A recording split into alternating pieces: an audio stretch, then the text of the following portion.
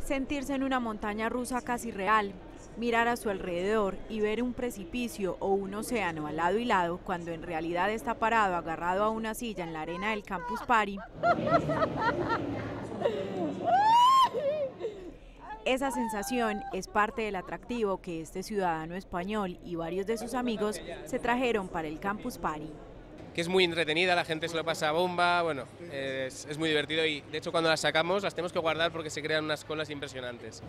Asier, quien por primera vez participa en un campus party en Latinoamérica, utiliza esos dispositivos de realidad virtual que funcionan dentro de un escenario 3D.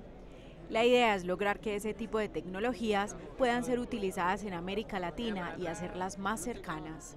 Lo que queremos hacer es esas tecnologías que salen rápido en San Francisco, Silicon Valley, Estados Unidos, exportarlas muy rápido a España, Colombia y todos los países para que la gente allí sean los primeros en hacer cosas interesantes con ello. Este aficionado dedicado de tiempo completo a la tecnología se propone conseguir no solo seguidores, también patrocinadores que le ayuden a hacer realidad esta experiencia en Medellín hasta fabricarla y comercializarla.